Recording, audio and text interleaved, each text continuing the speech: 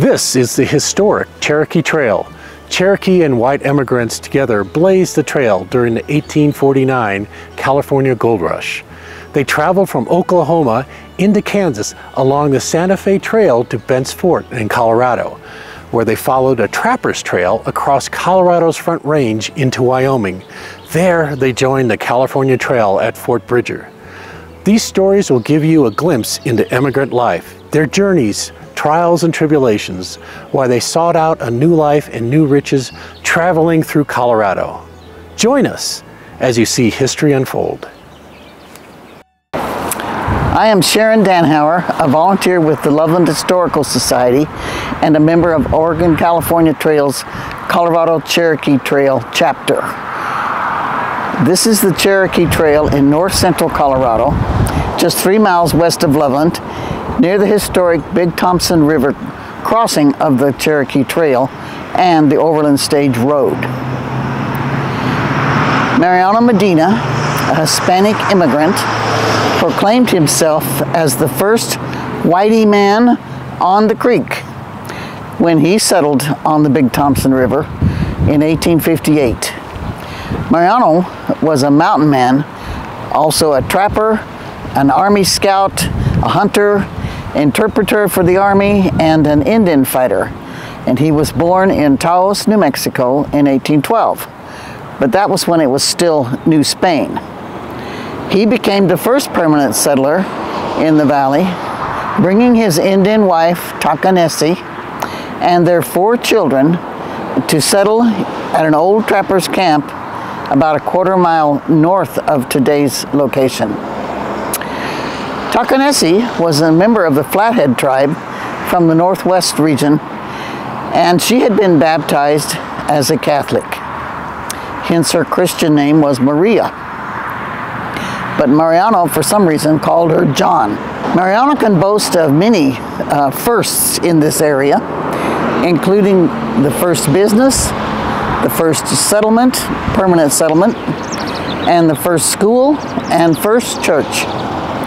He operated a river ferry and charged travelers for safe passage across the then uncontrolled Big Thompson River. In a few years, over 100 people of Mexican, French, Indian, and white descent lived in cabins and teepees at his settlement, which spread across both sides of the river and both sides of the road. The settlement has had several names, but Namaqua is the name that has endured to today. Mariano chose to settle in this valley due to the discovery of gold in the Denver region in that same year, uh, which he knew would increase traffic on the Cherokee Trail. Cherokee Trail was the only north-south road between the Mississippi River, 850 miles to the east, and the California coast, 1,250 miles to the west. Mariano became a recognized pillar of the Loveland community and its history, and his legacy as the first whitey man on the creek still resonates today. In 1862, the first Colorado Territorial Legislature granted authorization to Medina and Louis Papa, son of Takanesi, from her previous marriage to a French trapper uh, to construct a toll bridge. The bridge builders were not only responsible for the construction, but also for the maintenance of the bridge and the road approaches. Mariano and his settlers engaged in other profitable enterprises as well. They cut natural grass hay along the river and fattened worn out travelers' uh, stock which they then sold for a profit in the next season. Mariano also operated a well-stocked mercantile to meet the needs of travelers and established a potato co-op with local growers who refused to sell to the Denver market until their fair market prices were met. Ben Holladay's Overland Mail and Stage Company designated Mariano's Crossing as a home station on the stage line. This is where passengers would stay overnight. Today we're standing a quarter mile south of the Big Thompson Crossing at Mariano Medina's family cemetery, which was established in 1864. A lady traveler once remarked that she was pleasantly surprised to find a well cared for cemetery out in the hinterland. Mariano had planted cottonwood saplings at the cemetery. He kept the weeds down and he kept the short stone wall surrounding his family's burials neatly whitewashed.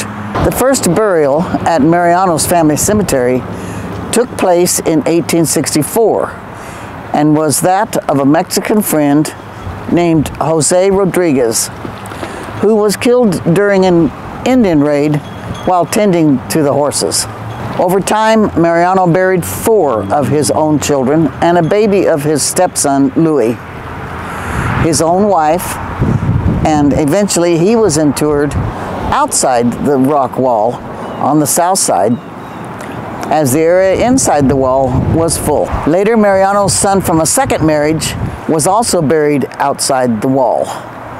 The cemetery is one of the earliest Catholic cemeteries in northern Colorado, although it came to be known as the Old Indian Graves, reflecting the common mistreatment of Indian burials in the early 20th century. After Louis Papa's death in 1936, the last of Mariano's family to care for the graves, the cemetery fell into neglect and disrepair. In January 1960, a neighborhood petition led to the closure by court order of the abandoned Mexican cemetery. The county coroner disinterred partial remains from five of the eight burials, operating without knowledge of how many graves were there, nor exactly where they were laid.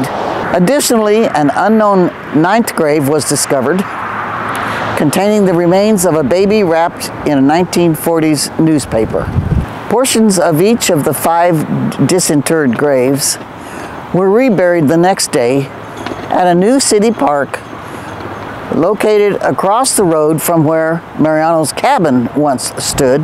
Original coroner's report has never been found, although Harold Dunning, a local historian at the time, was able to read and transcribe it within a few days, a copy of which we do have. Most concerning is the fact that no one knew with any degree of certainty who was buried where and no markers were standing at the time the cemetery was officially closed. Likely the Mariano Medina family cemetery, the only remaining piece of his settlement, would not be preserved and restored today if it were not for the indefatigable efforts of a local historian and the Loveland Historical Society Board of Directors uh, member, whose name is Bill Myreth.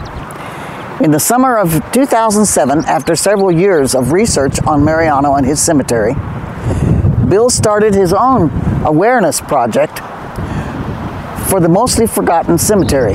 The cemetery was placed on the local historic register in 2012. OCTA's Colorado Cherokee Trail chapter installed a plaque in 2013 commemorating the Cherokee and Overland Trail that pioneers traversed alongside Medina's cemetery and throughout his settlement. Come and visit our part of the Cherokee Trail and then enjoy searching out more sections of this historically important Colorado Pioneer Trail to learn its interesting stories.